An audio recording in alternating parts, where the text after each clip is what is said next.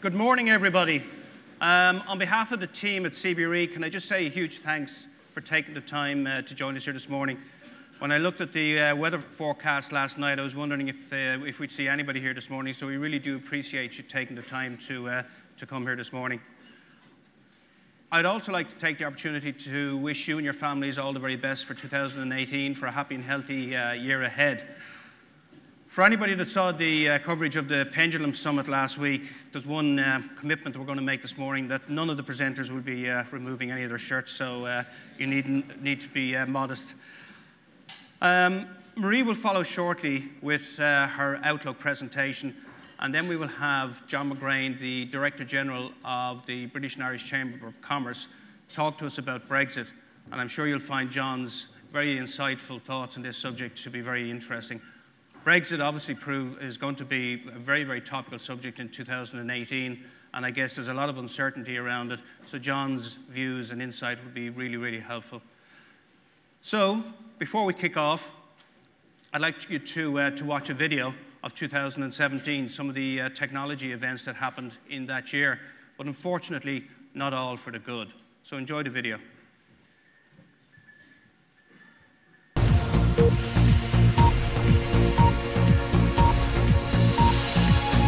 Click on that link, the malicious software is downloaded and spreads rapidly through your network, locking up all the files on it. The irony is that security experts think a hacking tool allegedly leaked from America's National Security Agency in April may have been used by the attackers. The Health Service will point out that it's just one of many organisations around the world affected by this attack, but it now faces what could be a lengthy process of cleaning up its computers and making the network safe again. Yeah, nobody wants a hacker to be able to get into your documents. There are ways to protect yourself from cyber criminals. If you haven't got a good security suite on your, uh, your laptops and your tablets, you really need to be doing it. So what really drives this is more around if they can continue to make money doing this, then they'll find the tools. We know that Ukraine appears to have also been a primary target. I mean, we're talking here about crucial infrastructure, central banks, airports. Government computers also locked up as so-called ransomware scrambled data until payment is made. Also affected Russia's state-run oil company, along with Danish shipping giant AP Moller Maersk and U.S. drug maker Merck and Company. Last month, a similar attack spread to 150 countries. While it's impossible to prevent an attack like this, there are measures that can be taken to reduce the risk.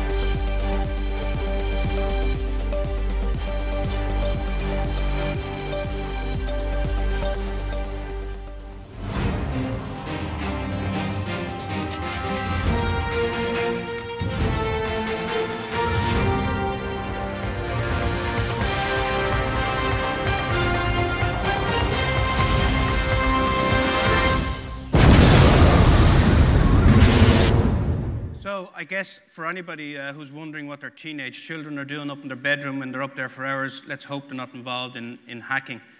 So, yeah, cybersecurity, big, big topic last year, but we all work in the property industry, so, you know, where's the relevance for us? Surely, you know, cybersecurity, that's for the, uh, the IT guys to, uh, to worry about. Nothing could be further from the truth. Our buildings, design, operation, setup, and how we manage and occupy these buildings is increasingly going high tech and IP enabled.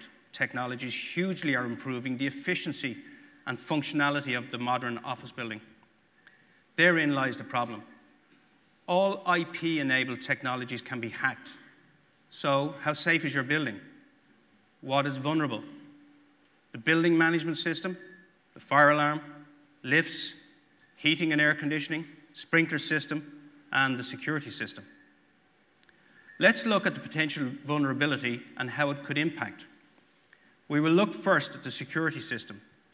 The camera system within your building can easily be accessed, allowing third parties to view videos of people entering your building, and then using advanced facial recognition techniques that enable them to identify those people. In the majority of cases, this won't cause anything other than a minor irritant. But in some scenarios, the visitors to your business could disclose the possibility of a large corporate deal, such as a merger, with significant money to be made from being aware of this sensitive information. Probably of more concern is the threat to destroy your fire alarm or lift controls. Doing this would make it impossible to occupy your building until a new system is installed, which could take weeks. As an occupier, can you take such a risk? Think of a shopping centre and how losing control of your M&E services could create huge havoc and huge inconvenience. Or how would you deal with a threat to have your sprinkler system set off, causing panic and result in significant damage, costing hundreds of thousands or more? The threat is real and will impact all properties, from offices to hotels to retail, industrial and residential. Maintenance engineers come in regularly to service such much of this equipment. How are these companies' security systems and practices checked? It is so easy to infect equipment with a virus that could lay dormant and be activated at any time in the future or cause huge damage immediately. So, what's to be done?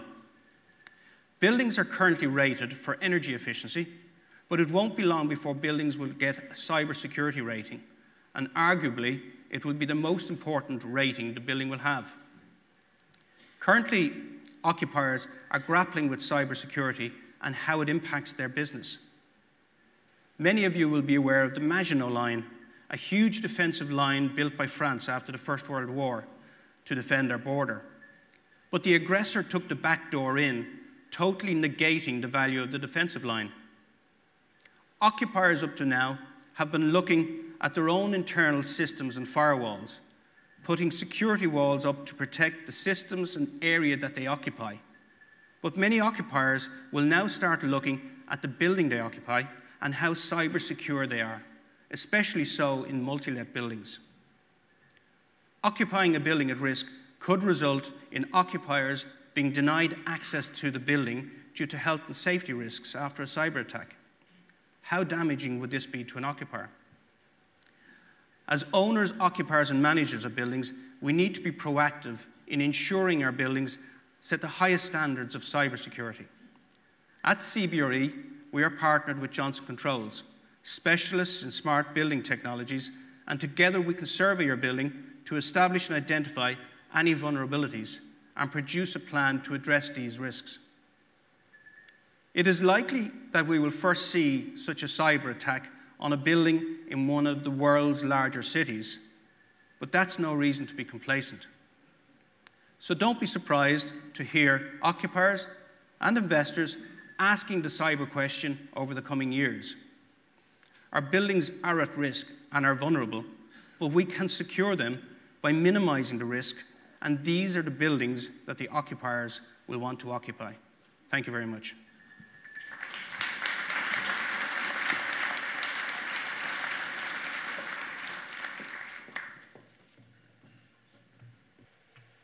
Santa. Good morning, everybody. We're here this morning to launch what is the 29th edition of our Outlook report, and you'll all get copies of the document as you leave this morning. Um, one of the quotes that came to mind when I was thinking of, of, of, this year's report was from Warren Buffett, and I suppose very topical this morning when the weather is so bad. But it's very, very easy to look in the rearview mirror and look at what happened in the year gone by. It's much more difficult to try and look ahead and predict what's likely to happen, particularly in uncertain times like we're in at the moment. Um, looking backwards is, is relatively easy for CBRE because we spend so much time on data and tracking um, activity, so we have very good information on what happened in the past. I think that the challenge is to try to figure out how to use that to look ahead and see what might happen in the year ahead. So a little bit of rear view mirror looking first, looking at 2017 in terms of summarising the year. And many of you who were here last year will remember us saying it's going to be busy, but a different kind of busy. And I think if you think of last year, that really bore out because it was a lot of transactional activity, but transaction volumes in many sectors of the market were down on the previous years. We had come through three extraordinary years between 2014 and 2016 when we were in the midst of deleveraging and NAMA were deleveraging. There was lots of portfolio sales. 2017 was different because the deleveraging had virtually come to an end and sourcing product was much more difficult. So, in many sectors of the market, transaction volumes were down on the previous years. We also saw total returns coming in at a lower rate. Now, prior to the stamp duty changes, which came unexpected in the budget, we had had um, 8 to 10% penciled in for total returns for 2017. And next week, the IPD will have their numbers out for what that figure came in at. And suffice to say, it will be less than 8 to 10% simply because of that stamp duty change. It was the second unexpected tax change in the space of two years, and it certainly affected sentiment. It affected pension fund values and quarterly valuations in Q4. But thankfully, it didn't seem to dampen investor demand for opportunities in Ireland, which is good. We also had a very strong economic backdrop, and again, we don't have final year numbers for the year yet, but it looks like GDP growth of about 4.5% or slightly more than that. The Irish Exchequer had its first surplus since 2006, and we created 55,000 new jobs. And I suppose to put that in perspective, if you look around you this morning, there's about 800 people in the room. So that's 70 RDS halls full of people. That's the amount of new jobs that were created in Ireland last year. And obviously, that's a huge boon for the commercial real estate sector. And I think in this instance, the IDA and Enterprise Ireland have to be commended for the Trojan work that they are doing in promoting Ireland and helping us to win all of these jobs. Investor demand, as I said, was very, very strong, and right throughout 2017, we saw new entrants coming into the market. We also saw yields um, being relatively attractive compared to the rest of Europe. So, if we watch European yields right throughout 2017, they continued to compress. In Ireland's case, they stayed quite flat, and it was really only in the latter part of the year that we saw some yield compression in the office and the multifamily built to rent sector, but for the most part, they stayed flat. So there was quite an arbitrage there between Irish yields and what was prevailing in many of the other capitals around Europe, which are at all time lows. Um, we also had the highest arbitrage between government bonds um, compared to the rest of Europe, about a 300 basis point differential between prime office yields and, and 10 year bonds. So Ireland was relatively attractive compared to these other capitals. And we also had very, very strong occupier market activity, and that obviously is very attractive to investors. So we had very strong activity in the retail sector, in the industrial, but the office sector was really the, the best performer, the best in class, with um, an absolute record level of take up being achieved. In terms of development, we saw a lot more cranes on the horizon, and again, this activity was very much focused on the offices sector, but we also saw some new development in terms of student accommodation, hotels, some industrial starting to commence, and some residential, albeit nowhere near the sort of volumes needed. So, what will 2018 bring? Um, I think we mentioned last year that the three drivers to be really mindful of were economics, tax, and politics. And I think that certainly bore out whether you're talking about the local economy, tax, and politics, if you're talking from a European perspective, or indeed from an international, global perspective. So conditions now are relatively benign. And we, I suppose, have accepted that the period of exceptional growth that we've come through in the last couple of years has come to an end. Ireland will continue to outperform for the fifth year running. We're going to create 50,000 new jobs in 2018. And Europe is largely positive as well. But there are things to be mindful of. We need to be mindful of the international environment. Um, CBRE's house view would be that we're probably going to have a cyclical downturn in the US in either late 2019 or early 2000 or early 2020. That in turn will see an end to this QE that we have been so dependent on over the last couple of years and an eventual um, unwinding of that. And ultimately, that means that interest rates will start to, to go up. Um, the QE, I suppose the ECB are currently buying half the amount of bonds that they were buying originally under that programme, so they're beginning to wean us off that. And there is some talk that by the time we get to year end, that they may um, finish the bond buying exercise that we have been used to over the last couple of years. In terms of interest rates, we've already seen some movement in, in the US, but we're going to have a new um, Fed um, representative, Jer Jerome Powell, taking over from Janet Yellen in, in the coming weeks. And it will be interesting to see what his policy will be in terms of interest rate moves. The, the expectation is that there will be at least two interest rate hikes in the US over the course of this year and possibly more. Once interest rates start to rise, arise, that in turn will have implications for the market. So it's something to be mindful of. But I suppose it's our house view that European interest rates are unlikely to change dramatically during 2018 at least. In terms of tax, um, I suppose we, have talked a lot about Trump over the last 12 months, and a lot of people felt that the tax reform would not go through, but it did. And corporation tax in the US now gone from 35% to 21%. Now, obviously, our 12.5 is still more attractive, but you would be naive to assume that it's not going to have any impact on our market. It will have an effect, and the expectation is that it might dampen demand in terms of new investors coming in. Um, also, I think from a tax perspective, we've been saying it for many years now, but Ireland's reliance on our 12.5% corporation tax just has to end. We need to look at other elements of our offer, be it talent, infrastructure, and focus on those because we can no longer rely solely on our 12.5. There's going to be more pressure coming, particularly from Europe over the next 12 months on, on, that, um, on that topic. And obviously, Brexit then is another issue that we're going to hear more about. We're probably tired listening to it at this stage, but we've at least another 14 months until we get to March 2019. And obviously, we're going to get um, some views from John um, later um, this morning about that.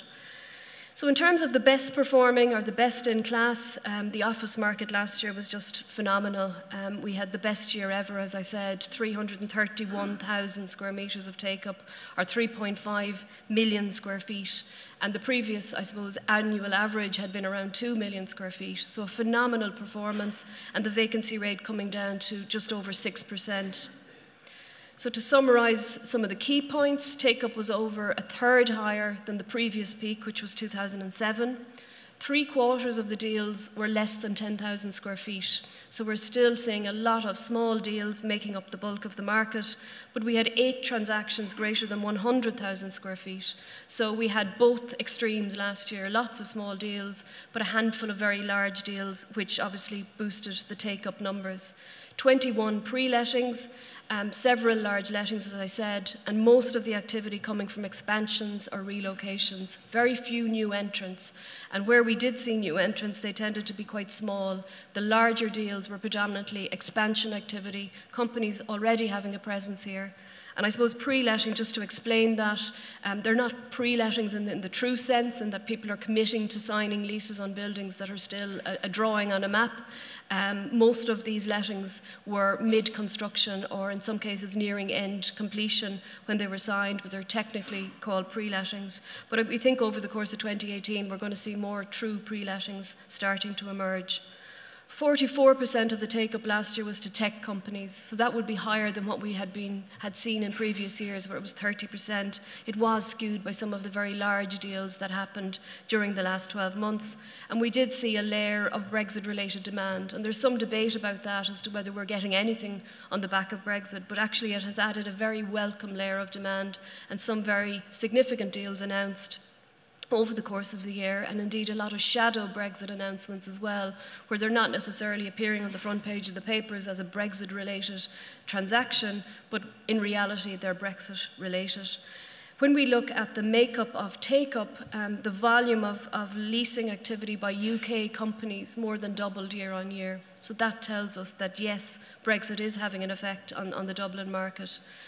The pace of rental growth eased, so we continue to see prime headline rents rise. They rose by over 4% year on year. They reached 700 euro per square metre by year end, or 65 euro per square foot. But what's interesting if you look at the chart is when you analyse all of the deals that happened, the, the average rent that was paid in Dublin 2 and 4 was 518, which is about um, 48 euro per square foot. If we look at the average for the market as a whole, it came in at about 38 euro per square foot. So that tells us if we're focusing on rents, we shouldn't really be focusing on the headline number. That's just the absolute top prime rent that's paid. But I think the, the underlying piece about the office market last year was just the quality of the tenant profile, excellent quality, and about 200,000 square metres of new stock built. So again, just to put that in perspective, 331,000 square metres let, 200,000 of new stock built. So that to us doesn't look like oversupply. So what will 2018 bring? We're expecting a similar year in terms of very strong activity. We're seeing, um, expecting, because of the, the mandates that are out there that are live at the moment, a lot of them are tech and financial services related, that they will translate into letting activity and we will see some pre letting activity. And we're going to see the Brexit effect solidify. So we're going to see a lot of the companies that are currently looking at different options and viewing buildings, making a firm decision and, and picking a building and signing in lease deals. We're going to see a lot more focus on flexibility and co working, and I suppose this is something that probably wasn't even on our radar 12 months ago. 15% of all the take up in London in the last 12 months was to, to co working companies. 5% of take up in Dublin this year or last year was to companies like Iconic, Huckletree, WeWork, and we're going to hear more of these. So we have a lot more. Um, tenants looking for more flexibility of space, looking for expansion space. We have companies um, willing to put some of their operations into flexible models. So it is something as landlords that we do need to become much more familiar with, and there has to be a trust here that this sector is working in other markets and it does have longevity. We saw a lot more activity in the provinces. So we saw a lot of activity in Cork, we saw a lot of activity in Limerick, in Galway, and some of these other cities, which will in turn kickstart some new development. And only last week there was the announcement from Jaguar, um, a deal that we were involved in down in Shannon, creating 150 new jobs in that region. So it's not all Dublin focused. Um, our expectation for rental growth is because rents, uh, the headline rents have now reached 700 euro per square metre, we're not predicting that they're going to change to any great degree over the course of the next 12 months. So the greatest rental growth that will be achieved in 2018 is going to be in the suburbs or it's going to be in provincial locations. And in fact, in Cork, we're expecting prime office rents there to rise by more than 10% year on year. Supply, in our view, is very well controlled. And I suppose just to illustrate this, we don't have a lot of charts for you this morning, but I thought this was an important one. The green bars on here is take up over the last couple of years. And again, you can see outperformance in 2017. And the pink is what we think is going to be delivered in 2018, 19, and 20. So that to us doesn't look like oversupply. 240,000 square metres of stock due for delivery this year, and that was only updated this week. The document that you'll get on the way out might say 270, but when we updated it this week, some of the 2018 stock has fallen into 2019. So 240,000 is our figure. And what's particularly encouraging about that is 37% of that stock that's going to be finished this year has already been pre let. So that tells us that the market um, supply is, is very well controlled. There are schemes in planning now in Cork, in Limerick, in Galway, so it's encouraging that there is now stock and um, availability starting to come through. So we would expect to see quite a bit of provincial activity over the next 12 months. But I think scarcity of stock is, is likely to continue to prevail for the next 12 months. So, moving to the retail sector, um, there have been undertones of negativity creeping into the, the conversation in terms of retail in the last while. There's a lot of discussion about leakage to Northern Ireland. Um, because of the sterling euro differential, there's a lot of leakage to UK websites and a movement to online in general. And I suppose last week um, we had the announcement from Forever 21, the US retailer, that they were leaving Jervis Shopping Centre, their only Irish store. So this has added to the, the negativity that's out there. Conventional retail is um, under huge pressure, but that's not to say it's all negative. In fact, if you look at footfall, if you look at sentiment, retail sales activity, both in value and volume terms, and indeed occupier activity, the story in, in our, our mind is that that's still quite strong. We still have a lot of retailers vying to get space and find opportunities in the Irish market. But it is fair to say that that pool of retailers that are looking for stock is smaller than it once was. The UK um, retailers are less active because obviously they're concerned about Brexit and what that might mean, so they're being a little bit cautious. The fashion retailers have retrenched a little bit. But there were lots of new entrants to the market last year, and we saw people like Hotel Chocolat going into Dundrum, Victoria's Secrets opening on Grafton Street, Home Sense, Smiggle, Urban Decay, new names opening their first stores in the Irish market, and obviously the Ivy, which will be a very big boon for the Molesworth Street, Dawson Street area when that opens. So good to see new entrants, and what was, um, I suppose, particularly encouraging for us is every single one of those new entrants, CBRE, were involved in, in the deal. Um, food and beverage has really been the, the, primary driver, and if you think about the new stores that have opened in the various high streets and shopping centres, it has been very much led by food and beverage. We've also had a lot of activity from beauty retailers, leisure, but the one thing that we have noticed is that fashion is not as active as it once was. And what we have noticed as well, be it from an occupier or indeed an investor viewpoint, is that there's much more focus now on the better performing streets, the better performing shopping centres. And one thing that we've really noticed is a very significant activity in retail parks. And I suppose that's not surprising considering the economic backdrop. People have more money in their pockets, so they tend to, to, to spend and also with the increase in home building, um, that's driving demand for the types of occupiers that typically occupy retail parks, so they've been doing quite well. So we're not overly negative in, in, in, terms of retail. And in fact, the biggest challenge last year was a scarcity of premises in the actual schemes that people want to, to locate in. 40 transactions, or more than 40, were completed in the Dublin M50 shopping centres um, between them over the course of the last 12 months, and it would have been considerably higher than that if there were units available in these schemes.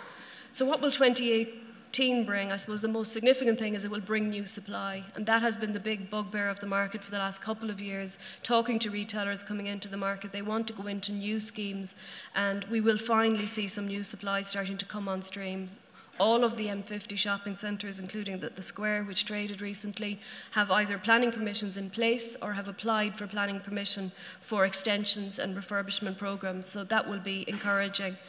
And I suppose this isn't something that's unique to Ireland because right across Europe, all our colleagues are telling us that many shopping centres are expanding their footprint. In some cases, it's to put a food and beverage offer into the shopping centre, but really it's to work on placemaking and to increase dwell times and increase footfall. If we look at rental growth, there wasn't significant rental growth in the retail sector last year. We're expecting that we will see some coming through this year, but it will be concentrated on the better streets and it will be concentrated on the schemes that are being managed actively. Um, the days of talking about secondary and provincial retail as if they were all the same are gone. And we, we really feel looking at secondary and provincial schemes now, they have to be analysed individually and taken on their own merits. And absolutely the ones that are being managed well will perform well. Um, any of the ones that are not being um, managed well, I think rental growth will be elusive in, in those particular schemes. And we're going to see a lot more focus on multi-channel. And I suppose this is no surprise to anybody, but um, a lot of the retailers now really improving their offer in terms of having an online offer and many um, online retailers who never had a physical store looking for physical stores so that's proving you do need to have both um, channels one of the facts I was reading about over Christmas, which I thought was interesting, is that on Black Friday this year in Ireland, people bought more on their phones than they did on PCs, tablets, and laptops together. So we're shopping more on the go on our phones, and um, there's a blurring of the lines between physical retail and online retail. And I think equally there's a blurring of the lines between retail and industrial now because of the distribution and the omni channel and um, e-commerce fulfillment that we all keep reading about. The biggest challenge in industry last year was a shortage of stock. There was almost 250,000 square metres of take-up, which is, is, a decent level of activity, but it would have been considerably higher had there been modern stock available, and that was the biggest challenge. Um, just over half of the activity was lettings, quite a bit of buying activity going on, very, very strong demand for land, and very strong demand for um, design and build. And if you think of any of the construction that's underway in this particular sector, it has been predominantly design and build. There's only a handful of speculative development schemes underway. And this was the sector that saw the highest rental growth. So we had 6% growth in rents um, to 99.50 per square metre or 9.25 per square foot. So we're at a point now where development is actually economically viable. And for that reason, we would expect to see more development coming on stream. So that the key trend for 2018 is that we're finally going to see some new supply coming on stream. There are three speculative schemes underway at the moment, two in North Dublin up near the airport and one along the N7, but we're going to see more. We think there'll be an improvement in supply.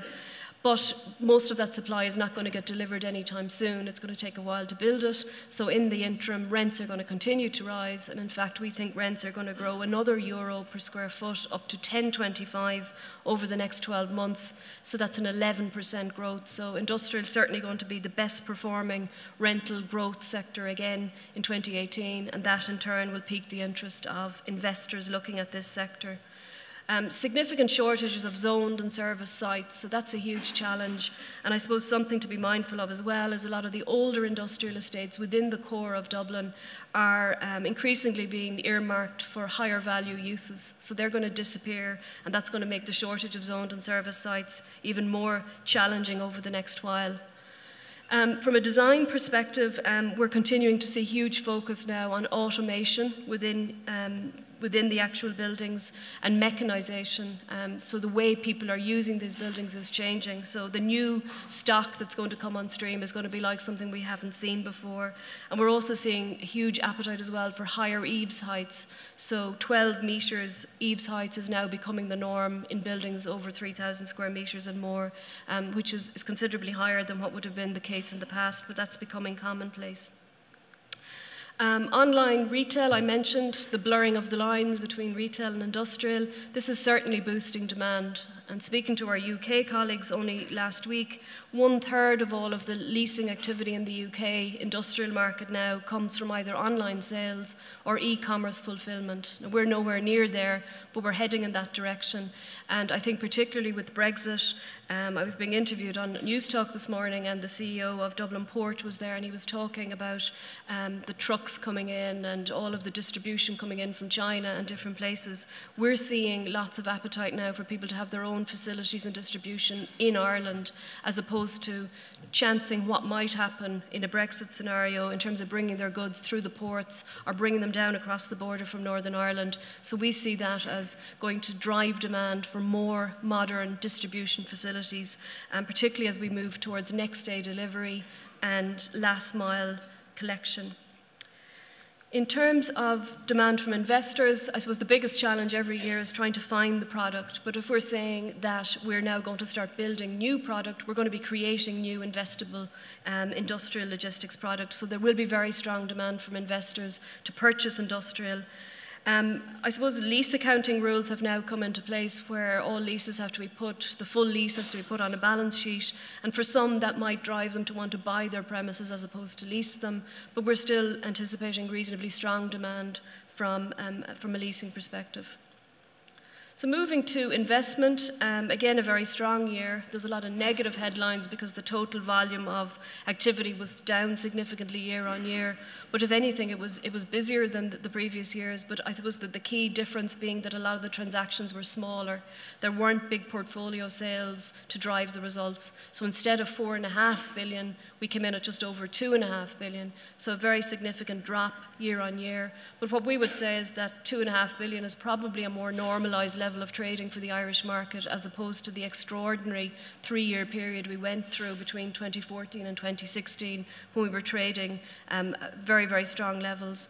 The largest transaction was the sale of the Square, which came in at 233 million.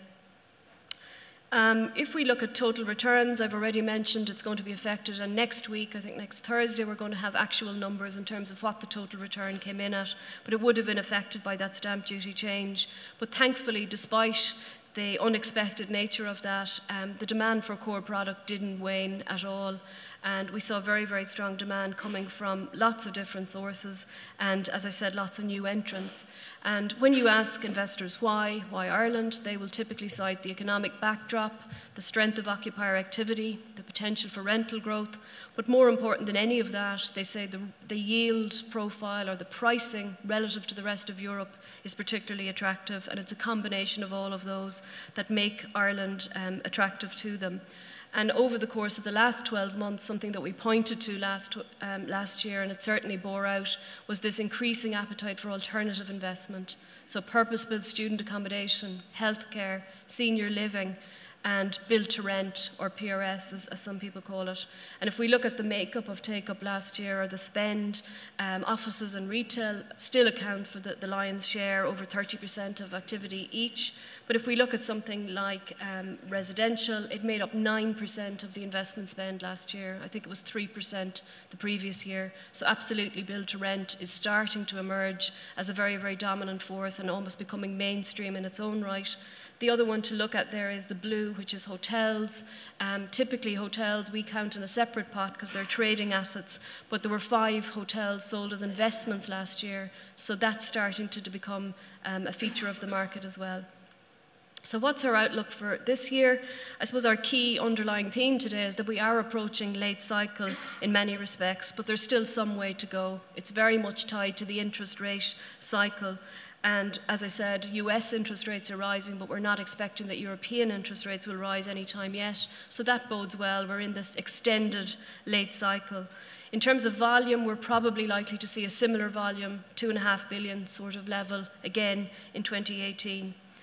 Um, very, very strong demand, but I think the focus is going to shift because people's appetite towards risk is going to change um, in this environment. And we're going to be doing a lot of research, I'd imagine, on income generation, on tenant risk, security of income, and the potential for voids. These are the sort of issues that are going to exercise the minds of, of investors in, in 2018.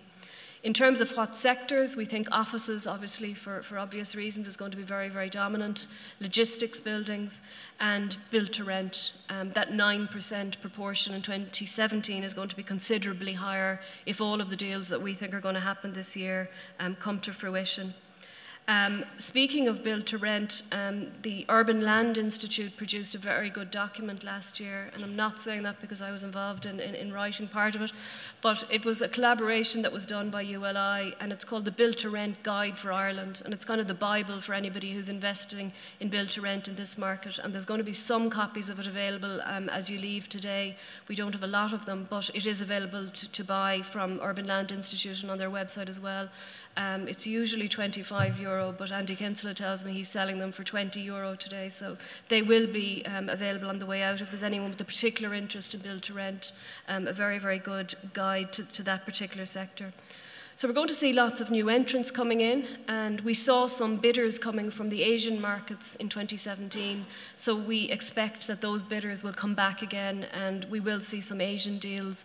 We've seen a lot of appetite from Korea in particular, and I suppose these are investors that have been looking seriously and doing deals in London for some time, and indeed regional UK. So it's only a step further for them to, to look specifically at Dublin. So I suppose watch that space for the, for the next 12 months. And we also see increased demand for provincial opportunities. And we had many investor clients who, up until last year, only focused on Dublin, but began to look a little bit further afield in 2018, and we saw a lot of appetite for Cork in particular. So these are investors who heretofore would not have looked at these markets or, considered opportunities, and now considering the fact that yields um, are even more attractive once you move out of the Dublin market, we expect to see that picking up. Capital gains tax, there was some changes to that in the budget. Um, specifically, if you had an asset that you held for seven years, you could sell it then at the end of the seven year period without having a liability to CGT. That seven year period was brought into four years. So we could see that releasing more stock over the next 12 months, as some assets that maybe weren't going to be brought to the market quite yet will be released in 2018 instead. So I suppose that could help to um, improve the, stock scenario because if we had to identify the biggest challenge for 2018, it's probably deploying capital. And in fact, um, in our office, we often talk about it's easier to, to, raise capital in some instances than it is to deploy it, considering the scarcity of um, product. But I think build to rent, certainly one to, to be very, very mindful. It has huge defensive characteristics. It has the potential for stable, long term income. So it's going to suit the profile of many of these investors that are looking for wealth preservation opportunities in the Irish market. When we think of development, I suppose anyone that's reading the newspapers or following the housing crisis um, would assume that there would have been a huge amount of development land traded in 2017. But in actual fact, um, it came in at, at, at similar volumes to the previous year, about 750 million. So three quarters of a billion, it's not um, a small figure, but most of the transactions were relatively small lot sizes. Now there were things like the RTE lands, which would have been exceptions to that, but most of the transactions quite small in nature. So I suppose frustrating considering the housing crisis that we're in, um, that there isn't more land being traded. Um, sourcing product proved to be a huge challenge. And I suppose Minister Eoghan Murphy has a huge challenge on his hands to try and turn this around and get more supply coming into the system. There were some welcome changes to the planning policy um, over the last 12 months that are to be commended, and in particular, the change whereby if you're applying for planning for more than 100 residential units, you go straight to An Bord Pleanála as opposed to going through the normal planning process. That only started last September. And as of last week, on board Planola say that they have 11 cases in front of them at the minute with a combined 4,000 houses that they all have to be decided on imminently. So that seems to be working and, and that is to be welcomed. In terms of 2018, um, I suppose what we would feel is that there's going to be more depth to the market. Um, it's not going to be one particular type of buyer looking for land. You have people looking for public housing, you have people looking for land for private housing, you have purpose-built student accommodation providers, build to rent and PRS providers, people looking for land to build commercial stock, so all of these are going to be competing with each other. So there's going to be considerable depth and considerable demand for any sites that are brought to the market. And we would say that this is the optimum time to bring sites to the market if anyone's sitting there on lots of land, because there is this pent up demand there for this land. And we, we think it's the optimum time to bring that out. The sector is obviously becoming much more professionalised. We have two listed vehicles now in this particular space and the possibility of, of more to come. Um, there's a huge volume of international capital and a lot of that focused on the build to rent sector. And that was, I suppose, illustrated very clearly last week with the news that the Dutch investor APG have done a joint venture with Hines to develop 1,100 build to rent units out in, in Cherrywood. So we're going to see more of that um, wall of international capital vying to get into the market here. We expect we're also going to see a lot more collaboration. And I suppose what we mean by this is um, state bodies, um, local authorities bringing land to the market via joint ventures or license agreements, not necessarily selling to a third party, but being involved in the project themselves.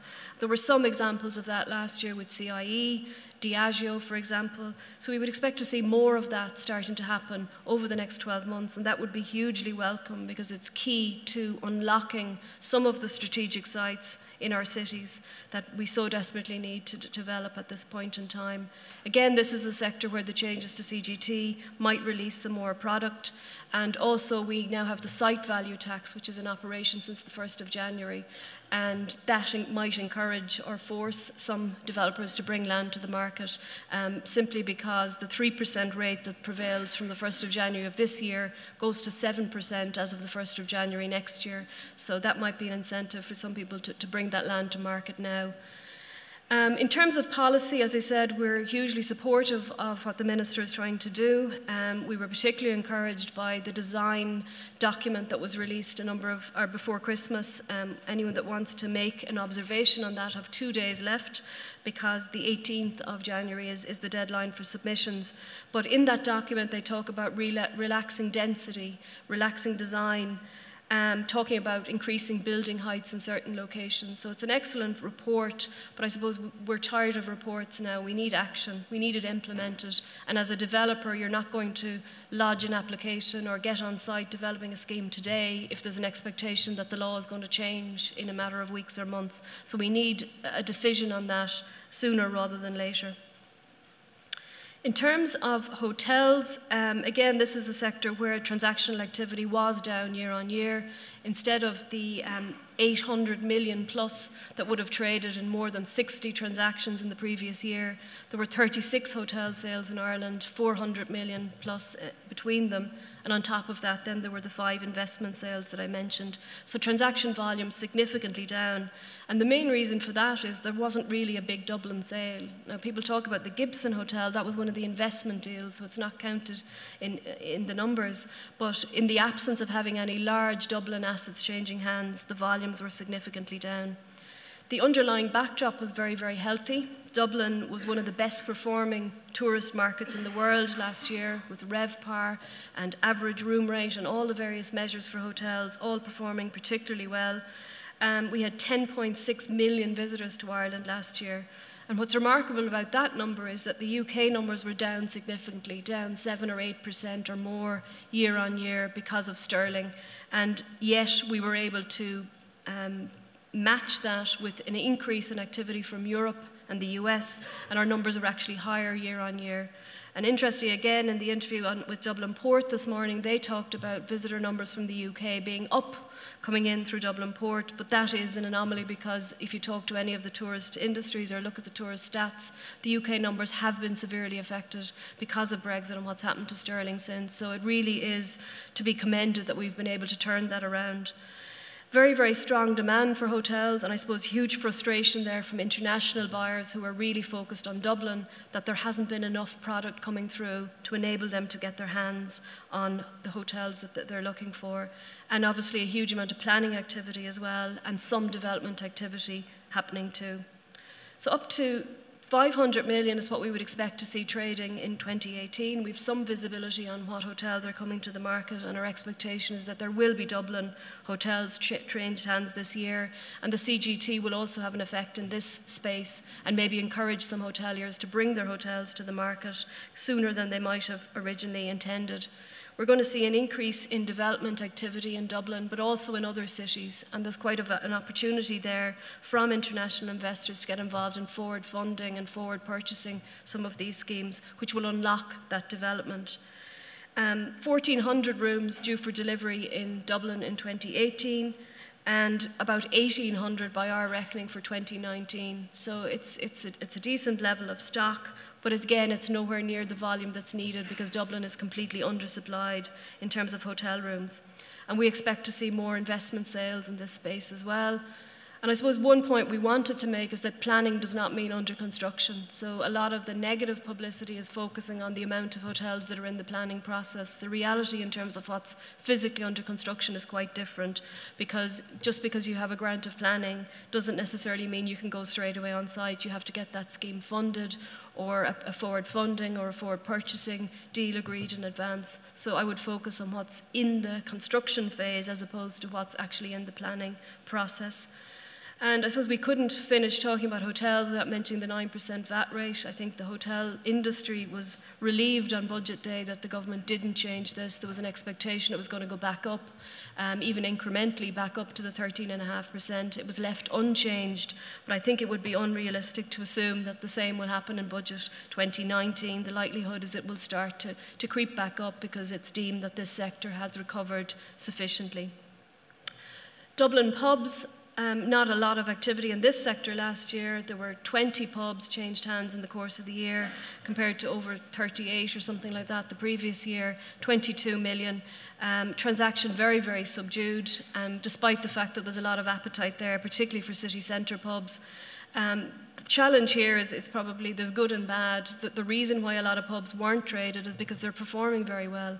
Um, because of the economic backdrop, because of the tourist numbers, they're, they're very profitable.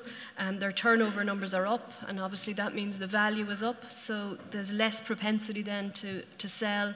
And also, a lot of the pub owners were able to refinance their portfolios, so they were under less pressure to sell as well. So it's, it's kind of a sign of the times, the reason why there wasn't more traded. So our, our expectation is going to be an increase in that. We have some visibility as well in terms of some assets that are coming to the market this year. And again, it's one where the CGT changes might have an effect. There's pent-up demand for the city centre in particular, but we're also seeing very strong demand for good suburban pubs that might be coming for sale over the next while. And again, any of the pubs, even if they're not trading, they seem, seem, to be investing in capital expenditure and refurbishment, and that's good. And we would also expect to see a couple of new pubs opening over the next while. Um, and I suppose this is really in the hotel projects that are underway at the moment. All of them will have new pubs in their premises. So, an, an interesting sector to watch. In terms of the Cork market, and this is my final segment, you'll, you'll be happy to hear, um, this is a picture of our own building in Cork because we opened a new Cork office during 2017. And we did that because we could see that there was huge appetite there, both from an occupier and an investor viewpoint. Um, we would say transaction volumes in the Cork market would have been considerably higher last year had there been more product, and that's true of occupier and investor activity. Um, a shortage of stock was the, the number one issue. We saw significant growth in both offices and industrial, not to the same degree in retail um, and a huge increase in planning activity and much more visibility on development. So there's quite a lot of schemes in planning in Cork at the moment um, in terms of office schemes. I think there's four cranes in the city centre at the moment, so it's obviously a, a drop in the ocean compared to Dublin. But for Cork, that's good because 12 or 18 months ago there were no cranes on the horizon. Um, in terms of new entrants, I've already mentioned um, from an investor viewpoint, we had investors doing deals in Cork last year that heretofore didn't look at, at the Cork market, so that was encouraging to see. And we're very encouraged by what 2018 looks like, um, particularly for the office sector. There's quite a bit of appetite there. There's several requirements outstanding, a couple of mandates that have to be fulfilled. So there will be pre-letting activity happening in Cork this year, and that will unlock some of that supply and enable some of the schemes that have a grant of planning at the moment to move on site and for construction to commence. Um, but I suppose it takes some time to develop these buildings, so there's not necessarily going to be a lot of stock av available in 2018. Supply is going to remain quite tight, and that means that rents are going to continue to grow. And that's why we are expecting a 10% uplift in Cork prime rents over the next 12 months. So they're going to go up to 32.50 per square foot or 350 euro per square metre. We're also expecting an uplift in industrial rents and in terms of investment activity, there's potential for yields to harden. So we're in a market, in Dublin in particular, where there's very little room for more yield movement, and yet in the provincial markets there is room for, for yield movement. So we're saying that office yields in Cork, which are currently at about 6%, have potential to come in by at least 25 basis points. At industrial, which are at 8%, have potential to come in by 50 basis points over the next 12 months. So that in turn will encourage investor appetite for that sector. And we're also seeing very good demand for build to rent in the Cork market as well. So, to summarise all of that, um, I think we do need to be mindful of certain things. We're very bullish about another very strong year of activity in 2018, but we can't afford to be complacent about things like global and local economics, tax, and politics. Um, our economy will perform well, but we have to focus on competitiveness hugely important. And we also need to avoid the capacity constraints that might appear as our population continues to increase and as we approach full employment. We really need to focus on infrastructure in particular. In relation to monetary policy, there will be an eventual unwinding of QE, um, over the course of the next 12 months, and that in turn will lead to interest rate hikes, and that in turn will have implications for the market. So we do need to watch that very closely, watch what's happening in the US, watch what's happening in Europe. In terms of Brexit, we're obviously entering stage two of negotiations, so we have another 14 months at least of listening to what's going to happen with Brexit, and we're very lucky to have John McGrane from the British Irish Chamber with us this morning, who um, has been in the thick of it over the last 12 months in terms of observing what's happening with Brexit, and we're very, very lucky to have him to give us a, an insight into that. But it's something we're going to have to be mindful of. And I think from a real estate perspective, the one thing we do need to keep at the back of our mind is that it's still a cycle. Um, we might be in an extended cycle, we might be enjoying the benefits of QE and the ultra low interest rates we've had, but it's still a cycle. Don't be fooled by people that say that it's different this time, or 3% is the new 4%, or it's a new paradigm. It's not. It's still a property cycle and it will continue to follow the same pattern. But having said all of that, all those things we need to be mindful of and watchful of, the investment thesis for Ireland is still very strong. Our economic backdrop couldn't be better. Our occupier activity remains robust in all three sectors, and in particular in offices, and it is encouraging to see that filtering out beyond Dublin now as well. In our view, development is well controlled. It's something we need to be very mindful of. We don't need to see oversupplying starting to happen, but as of now, it appears to be very well controlled. And yields, compared to what we're seeing throughout the rest of Europe, which are at all time lows, our yields in all sectors are still above where they were at the previous peak. So, having said all of that, um, we're very confident that 2018 is, is going to be another good year. There will be opportunities for investors developers, occupiers, funders, solicitors, I've probably forgotten some people, but hopefully property consultants as well. And on that note, I'll pass you over to John McGrane, Director General of the British Irish Chamber. Thank you.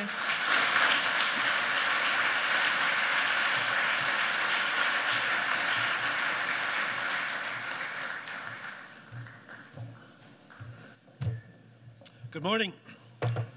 And thank you very much to Enda and to Marie. Um, and it's fantastic to be in a conversation that starts out with such great positivity and a, such a constructive outlook on where we're at and where we're starting into the next phase from. We're in the business of never wasting a good crisis. And to, like contrary to the old yarn about if I was going from here to there, I wouldn't start from here. We would start from exactly here. And the, the, uh, the layout that uh, Marie has just put in front of us uh, tells us that we shouldn't, we, shouldn't, uh, we shouldn't enter into what's coming down the track next with trepidation, but with the sense that we're well able for what's coming at us, because there's quite a lot coming at us. When, when uh, actually, on the day after the referendum in 2016, uh, Lord Mayor Brendan Carr, who was Dublin Mayor's Mayor at the time, rang me and said, Johnny, can we get some work done quickly to pitch Dublin to the rest of the world because, because we need to tell people that we're open for business. And I rang Marie and she said immediately, we, we want to help you with that. And we produced together a piece of work called Greater Dublin's Greater Than Ever and that went viral, as they say. Uh, we produced a pamphlet and a brilliant piece of video that's up on the BritishIrishChamber.com's website if you haven't seen it so far. And CBRE have always been such a constructive and positive partner to work with. It's brilliant. Uh, when Marie and Enda got in touch with me a couple of months back with their typically uh, military precision in planning this uh, annual uh, set piece event and said, John, would you come along and talk about the state of play on Brexit uh, in the first week of January? I said, Marie, there'd be nothing to see in the first week of January. It'll, it'll be all over by then. Unfortunately, we got our timing slightly premature, and I'm afraid this gift is going to keep giving for a little while yet. Let's talk about Brexit, and, and as Marie said, if you're not already sick to death of it, um, you know, briefly, Brexit, discuss. Uh, in what was either the greatest act of democratic expression or the greatest political gamble ever conducted eh, by a civilized country in modern times on the 23rd of June 2016. Our great friends, the people of the United Kingdom, voted to leave the world's largest single unified trading zone, the European Union, as you know. And in doing so, the UK took back control of which foot to shoot itself in and promptly shot itself in ours. Because the foreign exchange markets, which are usually pretty smart, uh, believed that the UK would be worse off outside the EU and immediately reduced the value of the pound sterling, as you know, by 17%. And so the first people affected were not actually in the UK at all. They were exporters to the UK for whom sterling immediately went down in value. And as a result, businesses like Irish mushroom farmers and others were extremely badly hit, and some of them went bust. But UK exports actually went up, as you know, because they became temporarily, and that's very important, more competitive. Add in the fact that UK politics has delayed all the way to today still without yet telling us exactly what sort of Brexit it actually wants. And you have a situation where many people in the UK actually feel that Brexit is going rather well so far. Uh, and, there, and many are saying, as you know, why are we not yet out? What are we waiting for? The reality, of course, is extremely different. And the UK government knows perfectly well. For instance, that the UK economy is not doing well. In fact, investment is slowing down, debt is up both at state and consumer levels the, you've a good chancellor with a bad hand. There's no money in the system to subsidise or soften the effects of Brexit that's coming down the track. And retailers, particularly food retailers, are under huge pressure, and we work with many of them, to pent up price increases that can't yet be released to consumers because the discounters will, are positioned to pick up that trade. And what you've got is Irish food being sold into the UK still at a reference price of 82p. I mean, sterling hasn't been 82p for well over a year. And as a result, you have massive price pressure and margin pressure building up in the supply chain behind that.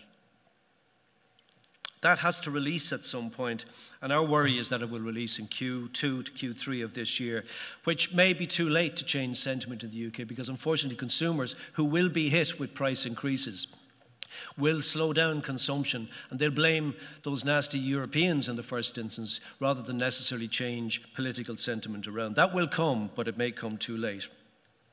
And the reality as well is that the UK government knows that it's got nowhere in its efforts to um, actually find independent trade deals around the rest of the world. The Foreign Secretary, Boris Johnson, a great person was in this town six weeks ago, and I had the opportunity to ask him personally, Can you tell me, sir, exactly which country in the world the UK would like to trade independently with that it doesn't already have a, have a deal, a very valuable deal to trade through the EU, or soon will, and that's worth any money? And he said, Yes, the United States of America. So I think there is a certain amount of cognitive dissonance in the system that still needs to be worked out in UK politics to help people understand that the UK already has trade deals with the greater part of the world's trade, and indeed on, on deals still being still in the pipeline that the EU will conclude. Four fifths of the world's trade available to the EU to the UK will be will be done by it through its membership of the EU.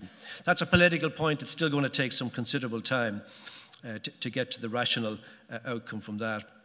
The, the second thing in this regard is that the UK knows that it, it has got precisely nothing at all from the negotiations so far. So we're well into the, the second year of the process, and the clock is ticking down to the final phase of the process, actually, in its current terms. And the UK can see that the EU has set 100% of the agenda and kept control of that and, and won everything that the EU wanted to, wanted to achieve in the process, notwithstanding tabloids and opinion and sentiment. And we work very closely with both the UK government and the Irish government and UK officials are some of the best in the world, but they're in an impossible situation, and the EU is, is standing extremely firm on this. So if you think the EU is going to fold on some of these points, I'm afraid that is simply wrong. This isn't a negotiation. It's not a negotiation, it's a supplication because when, if you're a member in your golf club and you decide, I don't like this anymore, I'm just sick of it, I was never really comfortable with the way the place is run anyway. And I'm going up there to the committee on Wednesday, I'm going to tell them, here's the keys, here's my ticket back, I don't need to play here anymore, I don't want to play here anymore, I don't like the rules, and you can have your membership. But by the way, I'd still like to play at 10 to 11 every Saturday, would that be okay? That's not a negotiation. And that's exactly the situation that the UK is in right right now. And it hasn't dawned on political opinion, including on the Labour side, that, that this is not a winnable situation. So we're in damage limitation. We campaigned as the unique organisation representing business interests on both islands for the UK to remain in the EU and work with us together with Ireland and other uh, like minded nations to fix the EU European Union because it needs fixing from within. But we now respect the democratic outcome and we're working to achieve, with our friends in the UK, the least worst outcome. While some of us might be tempted to look on in the UK with a certain amount of schadenfreude in our less diplomatic moments, the problem for us, of course, is that a bad outcome for the UK in all of this is a very bad outcome for Ireland. You know, you don't need me to tell you the correlation. You know, 65 billion euros of trade every year, two way, 400,000 jobs, 1% fall in UK GDP correlates to 0.3% fall in Ireland, etc., etc. And the problem is that Brexit is already happening in the UK. This isn't some future political potential outcome, it's already happening. If you're in the food industry in the UK, European labour, which makes up 50% of workers in, the UK, in, in, in uh, UK food production and food processing, is already not coming back to work. Lettuce pickers in East Anglia, not because of Brexit, but because the currency is worth less. Their emigrants' remittances to Eastern Europe simply don't make sense anymore for them to do that. And that's not just in low wage stuff, in mid, mid-range engineering. And engineering in Britain is a very high value industry. That's hugely populated with Eastern European engineers and scientists. They're not coming back. If, if you're in the university sector, which is obviously for education, but also for research, which in turn powers up huge inbound investment and external exports from UK uh, plants. Uh, university professors holding funds from the EU are also finding it a chilly place and not so welcome anymore. And they're forming research partnerships with other universities in, in the EU, including, hopefully, with universities here.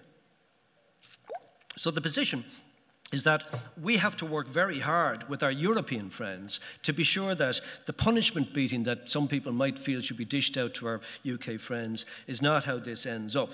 And that's why the Irish government put in such a huge and thus far extremely successful effort in terms of the first round of the talks in protecting Ireland's interests in phase one, which led a few weeks ago to the promise that if all else fails, the UK will operate as if if we're a st still a member of the single market and the customs union for the purposes of the border on the island of Ireland. But the way it had to be worded in Article 49 and uh, Article 50 of the joint report on the 15th of December was that effectively it means that the UK as a whole has positioned it itself with the default position of remaining exactly as it has been to date. That sounds potentially hopeful. The problem is it's a political promise which may or may not ever see the light of day. So what happens next? What does it all mean for us? Well, the current weeks are about firming up on the work done in the first phase to confirm the details of the UK's withdrawal arrangements from the EU, because it's going to withdraw. People will say, so would they vote again? Might it be reversed? A couple of observations. I spent exactly 50% of my time on the ground in London and the rest of the UK. The sentiment on the ground has barely moved at all for reasons about hedging and other things. Like 75% of the foreign exchange hedges that were in place in the UK on the day after the referendum on 24 June 16 were still in place on the 31st of January last year. They've only been burning off more recently. And that's why there's this delayed effect on UK consumers to a problem that that, affected us much faster. The problem is that if they voted tomorrow morning, they would be largely as hung on this position as before, and nobody in British politics is prepared to take that risk right now. So the process continues to firm up on the withdrawal arrangements, and this is about finding agreement rapidly, because the clock is ticking, on the numerous thousands of laws and rules that the UK is currently subject to in return for having the benefits of EU membership, and the unwinding of those so as to let the UK go its own way. UK wants to get in on, onto the detail of what the future trading arrangement uh, that it needs to have with the EU, I, even if it doesn't know that yet, but it wants to start talking about it. And the huge number of technical regulations that all of that requires in the EU means the EU won't discuss this until actually after the, U, the, uh, the, UK has left, which means that that has to wait until 11 p.m. on the 29th of March 2019, barely a year away, and meaning that the UK's first business day as a free, independent global power will be on April Fool's Day 2019. So, what all this needs is some way of knowing what way the UK and those who trade with it will be positioned in between the UK being out of the EU from next year and whatever actual new trading relationship commences. That's what we call, obviously, the transition phase. And so there's huge interest in getting the arrangements for this phase established as fast as possible now. That's the currently most urgent matter to be agreed, and it's not agreed at all. The UK says it wants two years, the EU says somewhat less, and we, we in business want, quote unquote, as long as it takes, because any alternative to that means further uncertainty, moving from one to two to three stages, and in reality, disinvestment, underinvestment, non proceeding with transactions, that, and probably actually accelerating uh, remobilization or, or, or, shifting transactions, lift and shift transactions that, that, uh, that are, are currently being sat upon right now. And, and, among the many themes in this area has been, you know, have we, have we over-talked ourselves into the opportunity for Ireland, for Dublin and the regions to attract UK business. We all were part of the process around financial services because of the regulatory imperative around their need to, to have a mitigation plan for Brexit. Those transactions had to be first up, best dressed, best executed. And, and Ireland, I think, has done well once we, we, we realised the, the sorts of business that we were geared to host in financial services and the realistic distribution of those opportunities across multiple competing towns. The next phase will be rather calmer, I think, in terms of, of seeing Ireland move more, at a more normal pace to set out its normal attraction stall. And Marie has, has talked about many of the reasons why this is a highly attractive place to base your business if you need to be based in, in, a, in, a, in a location alternative to the UK. And we'll come back to that. What does it all mean for us here, and what does it mean for you in your business? Well, firstly, let's talk about what it means for the EU, actually, just in case anybody's in any doubt. The loss of the UK to the EU, I mean, like most businesses, in fact, uh, every business in this room would say if I lost my, my second or third biggest customer or, or, or stakeholder, I would have a serious board discussion to talk about how, how did we let that happen and not see it coming.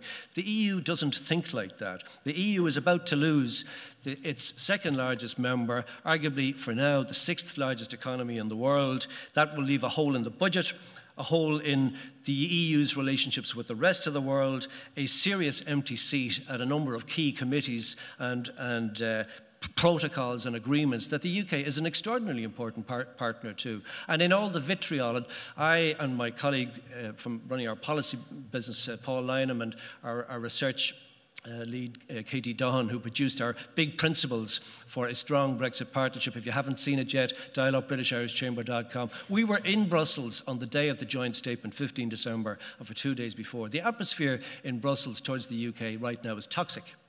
It's toxic. And there are no friends to the UK's cause in, in, in, in the EU right now, bar Ireland, actually. In the rest of continental Europe, there are very few people who really care about what happens next. So we have to work extremely hard for our interests to, to see that the, that the deal that finally arises out of all of this not only doesn't damage excessively the UK, but, but, but damage us in the process, in the collateral crossfire.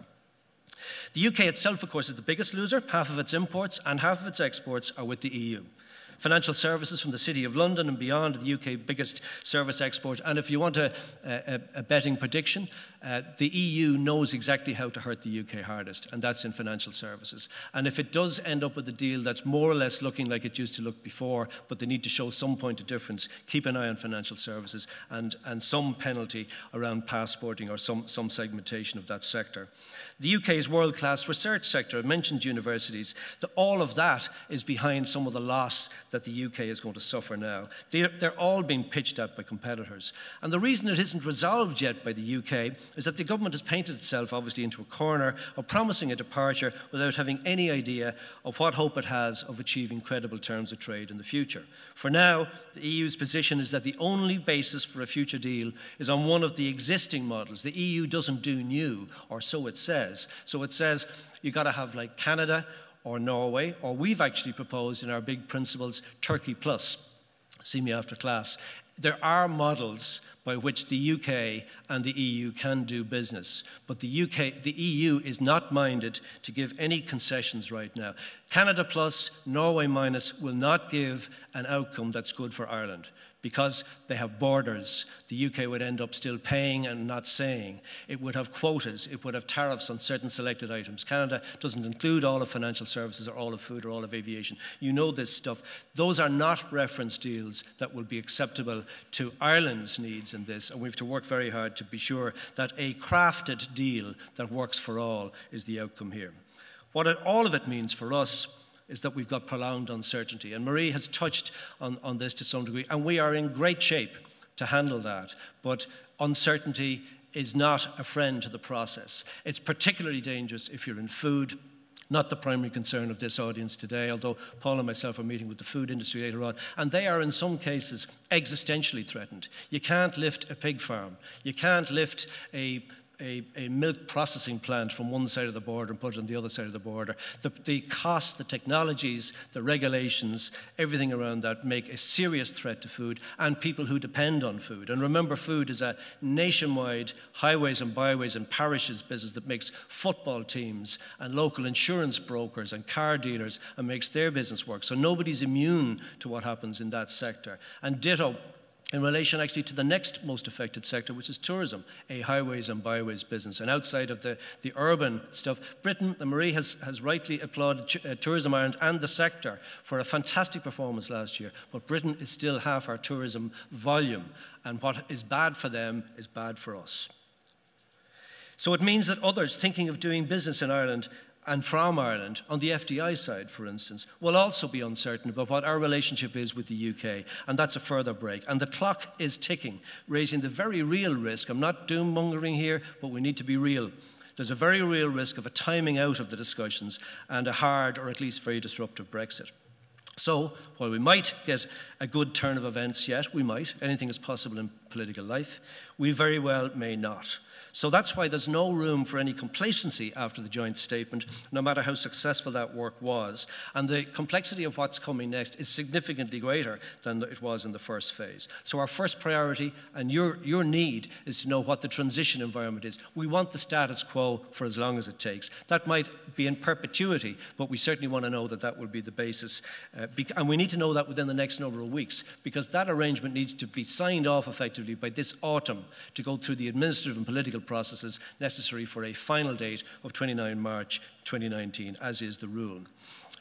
What does it mean for the question you want to ask yourself? How does it affect your business? What can and should you be doing now? Well, in the context of the property sector in Ireland, question on everybody's mind is will we see more UK businesses and others from other countries looking to establish here? In our view, the answer is a definite yes, of course.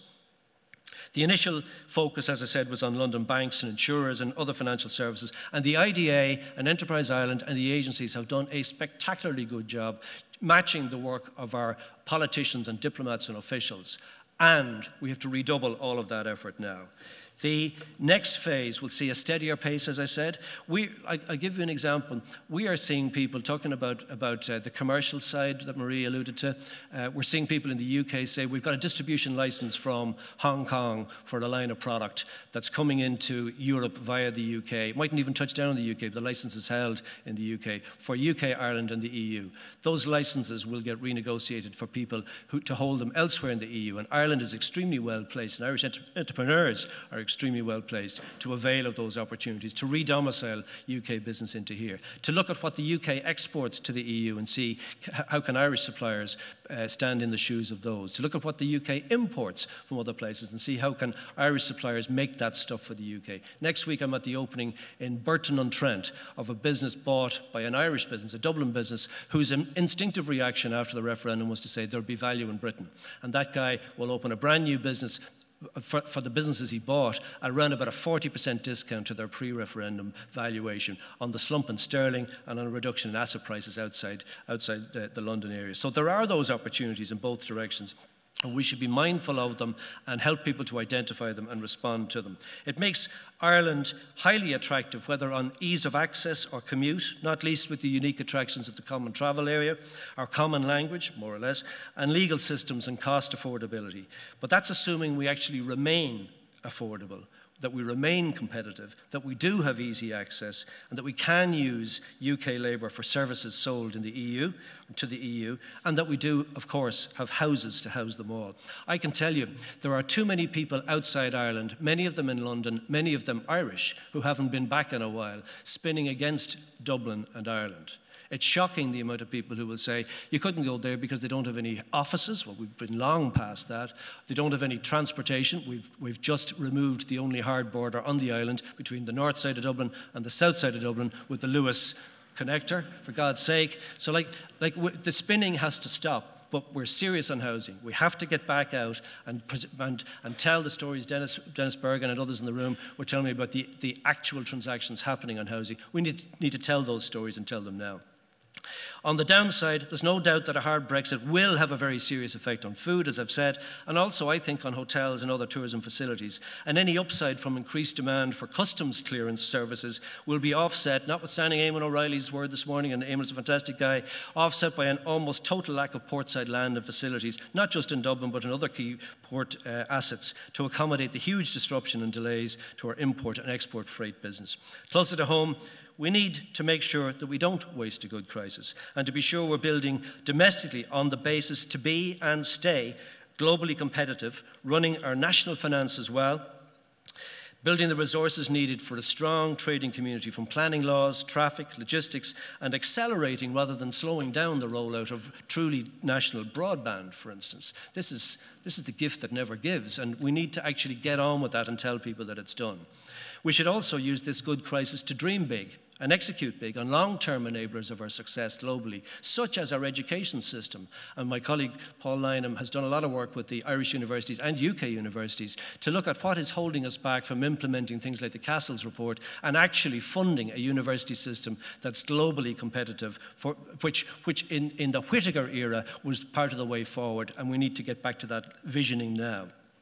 Very lastly, rather than send you home believing the world is going to end, which it certainly is not, let me remind us all that for many, not all, but certainly many straightforward businesses outside of the most exposed sectors, for us at the British Irish Chamber of Commerce, we always remind people that you can start now to Brexit proof your business in just three and a half steps. Number one, give up that stuff about saying, I don't need to cover my foreign exchange risk. When I was in the banking business, but I'm okay now, the, um, the mantra was, so what would you want to be covering your foreign exchange for? You can make a pile of money if you don't. I'm afraid that's done and gone. The, the experience of the last, last two years, uh, if, if anybody needs an example, says you shouldn't be doing that. So we need to, need to get, get into the hedging of exchange risk because it's very volatile right now. Second thing is, if you're an Irish business, don't get locked out of the huge UK market. UK isn't going to go out of business anytime soon. My patron, Niall Fitzgerald, patron of the Chamber, has a very clear analysis. the UK isn't going to close down. Why would it? But what will happen is that over time, people will look back in 15 and 20 years and notice that there was really minimal new investment in the UK. And it will become smaller by being more isolated. We hate to say that, but that's, that's where it's pointed unless somebody turns this around. The reality is that will still offer significant opportunities for Irish trade, services and goods, and talent to do business in the UK as perhaps the UK's best trading partner. And we need to think about that. And you can very simply assure your position there by establishing whether boots on the ground, a JV, a license, a partnership, whatever, and we can help you with the contacts to give effect to that, working with our friends at Enterprise Ireland, UK Trade and Investment, and others. Number three, if you're British or you know a friend in Britain, don't them, let them get locked out of the hugely valuable EU market, which is just going to get stronger and stronger as a market. And we can very easily solve that problem, not by having them closed down, but by doing a, a, an opening for them in this market here, the best access point for them into the future EU market. And again, we're working very closely with UK businesses to connect them to real partners here that can, that, that can help them to achieve that. And very lastly, item three and a half, the three and a half step to Brexit proofing your businesses, don't believe the future will happen to you. You're in control of this. The voice voices in this room, the political advocacy, the the inputs that the government here and the EU and others want to hear from business, actually, which has been constrained for all sorts of structural reasons. The, the, the, voice of business and the voice of entrepreneurs is extremely important in shaping the final outcome of this deal. And people like us at, at Chamber of Commerce level and many other organisations are in the business of filtering those viewpoints, your viewpoints, back up to policymakers and politicians so that you can have an impact on how this ends. So, on that reasonably constructive note, um, for those of you who think Brexit has gone away, I'm afraid it hasn't gone away just yet, but this is the crisis that we shouldn't waste. Thanks very much for listening to us. We'll be glad to help you along the way.